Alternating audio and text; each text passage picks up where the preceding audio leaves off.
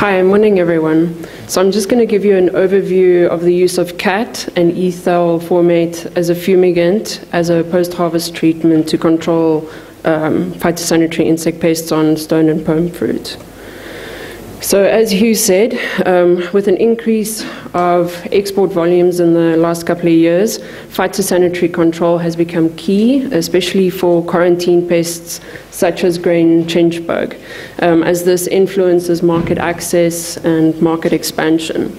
So, the two post harvest mitigation treatments that we investigated consisted of heat treatments with the use of CATTS and then fumigation where we used ethyl formate. So for CATTS, CATTS is a controlled atmosphere temperature treatment system where you apply heat um, and you control the atmosphere by lowering the oxygen and increasing the CO2 to uh, control the insect pests.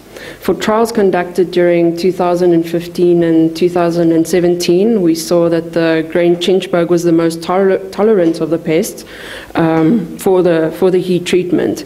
It required higher temperatures, holding temperatures, and faster ramping rates to reach their thermal limits, which was not optimal for fruit quality.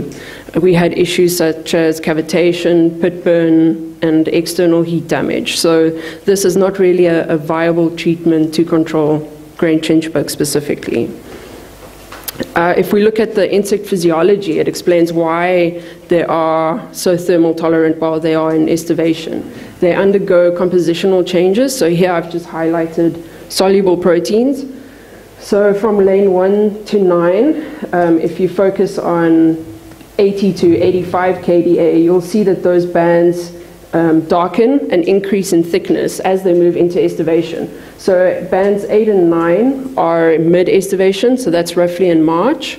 Um, and we analyzed those bands, and you could see that there was an increase in different types of heat shock proteins compared to the rest of the estivation period.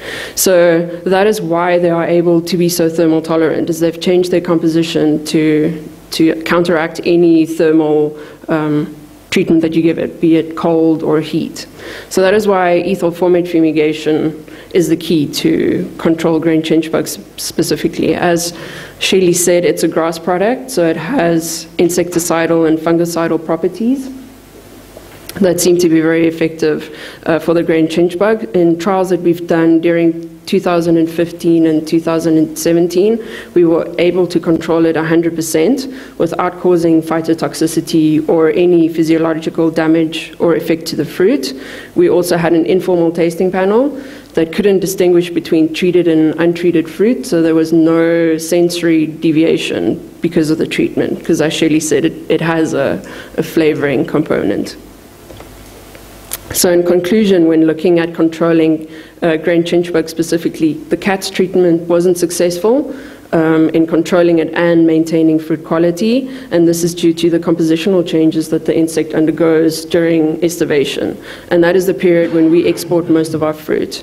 So for ethyl formate, it was very successful. We were able to control chinch bug without any negative effect in fruit quality on various cultivars. Uh, the informal tasting panels couldn't distinguish any off taste or sensory defects. So in conclusion, ethyl formate has the potential to control other external pests as well. Uh, further research is just needed in that regard. Thank you.